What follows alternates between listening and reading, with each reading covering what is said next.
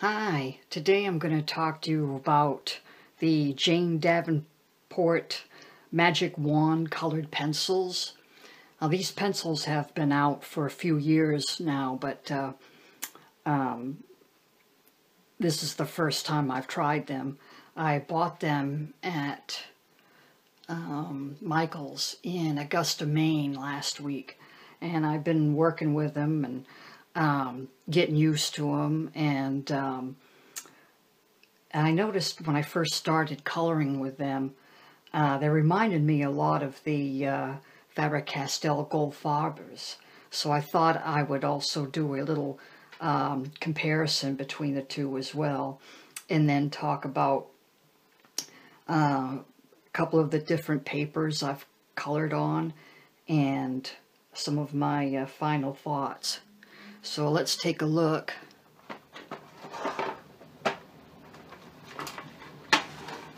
Yeah. Uh, here's the swatch.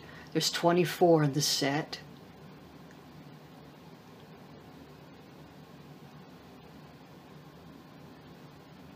And I think uh, the, the color choices are mainly uh, for use as a supplement to other pencils and uh, designed specifically for portraits such as these, the kind that Jane Davenport creates herself. And we'll have a look at one of them. Now they have little cutesy names. This one is called Kiss Kiss. I don't know what the milliliter is on these barrels.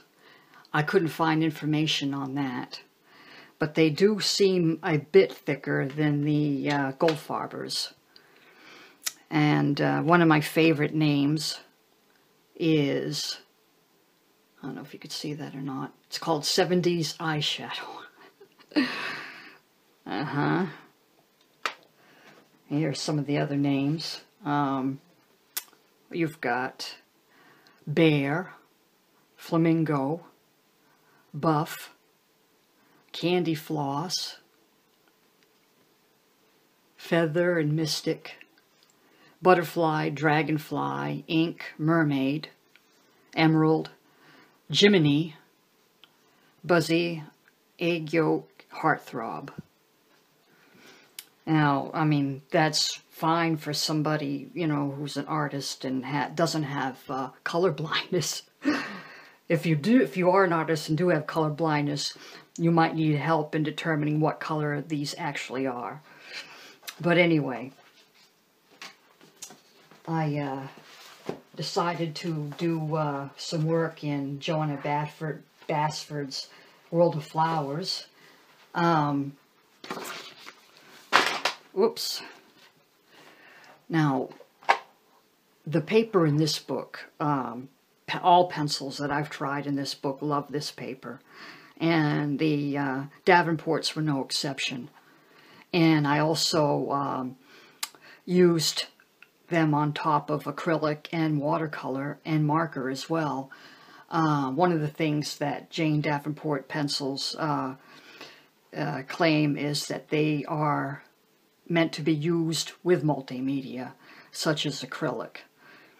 And um, some of these uh, smaller flowers here were done with a base of acrylic. And then um, these bigger flowers here, and this one, they were done on top of a base of watercolor. And they work just fine on top of the paints.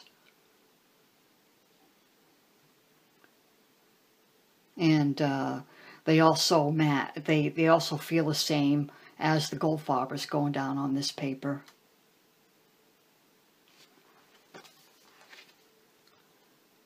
And uh, just so you know, these are the Goldfabers. I have uh, the set of 12 and a dozen open stock.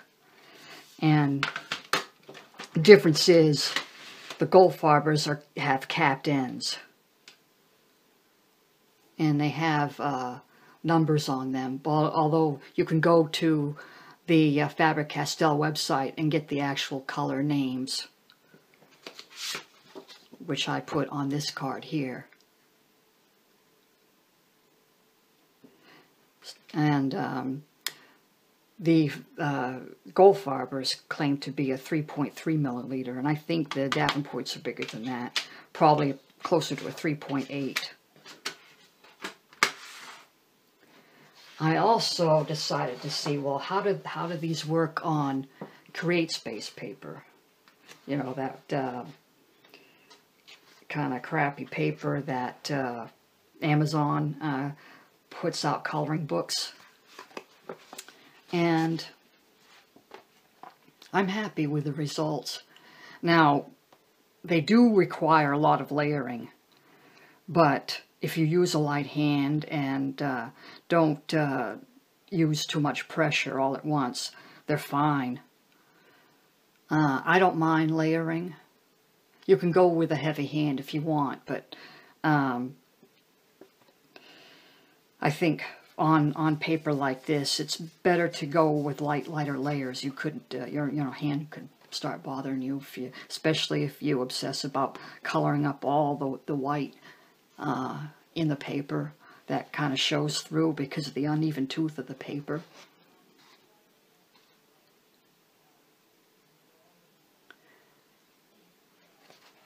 But all in all, I think they work just fine on this paper.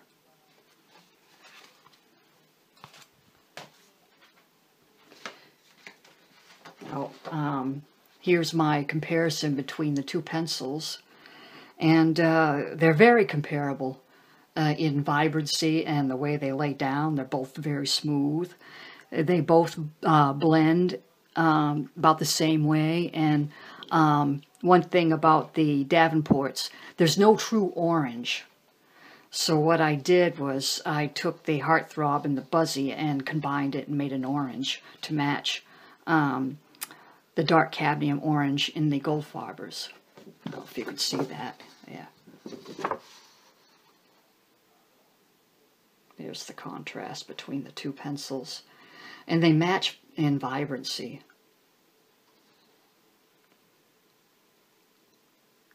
Bo both uh, are fairly expensive for the amount of pencils you get, uh, but the Goldfabers you will pay a few dollars more. Um, at the uh, Michaels, which I purchased, uh, the Davenports, I had a 20% off coupon. So I got them around for around $20. Now, because the Davenports do claim to work with uh, multimedia, I took some black acrylic and tried out the white on the black. And I did notice that the Goldfaber is much more uh, opaque. Um, that's one of the weaknesses of these pencils. The white um, is just about useless. I, I don't uh, think it's worth it. I think they would have been better off replacing the white with another, like maybe uh, a brown. Um, yeah, I think another brown would have been nice instead of the white because you can see the difference. Now, um, some of the pros for the Davenports are the smooth and creamy laydown. I mean, they, they color like butter. Um, I had no issue I with cramp, hand cramping. Um, you know, I they do stress the way to color with these is with light layers, and they work beautifully uh, with that technique. And they're vibrant with multi-layering. So you can see the colors here. There we go.